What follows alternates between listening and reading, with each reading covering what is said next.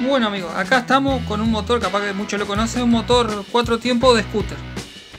Este motor vino en la Motomel Strato 125, acá en Uruguay vino en el Jumbo BX y un motor que se usa en muchas marcas y modelos.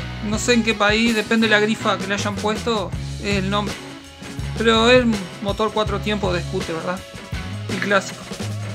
El problema de estos motores que, que siempre cuando lo van a desarmar tienen problema con este engranaje. El engranaje de la patada de arranque. El engranaje que va atrás de la polea del variador. Cuando usted aprieta en la tuerca de arma el variador, esto aprieta, es cónico y queda clavado. Igual que si fuera un volante magnético del encendido, este funciona exactamente igual.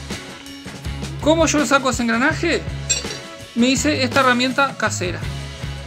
Acá está, como pueden ver, un pedazo de fierro con un tope ahí soldado Incluso el fierrete si lo ven hasta remendado está para hacer un largo más o menos. Y allí en la punta miren lo que le hice.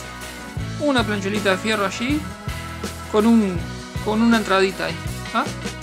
Y con esta masa lo apoyo allí y lo saco. Vamos a ver si lo, si lo puedo sacar. Vamos a tantearlo a ver cómo está eso. Espero no esté muy duro. A veces puede pasar que se que queden clavados ahí. Vamos a ver si ahí enfoca más o menos para que ustedes lo vean. Ahí. Ahí está. Acá ponemos la herramienta la llevamos para acá, ahí, entre lo más justo posible y le pegamos.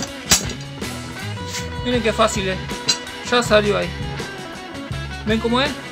El engranaje. El engranaje es cónico y claro, ahí no tiene estría, no tiene nada.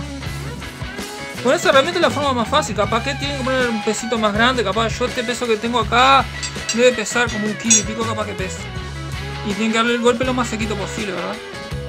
Y esto es lo más, lo más práctico, no lo, no lo marcan, no lo agollan, no le hacen nada al engranaje, queda, sale intacto.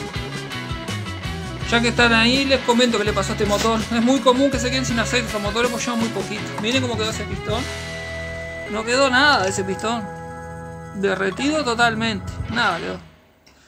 Bueno gente, si le, le sirvió el tip y le soluciona el problema a veces de cómo sacar ese engranaje que se enloquece.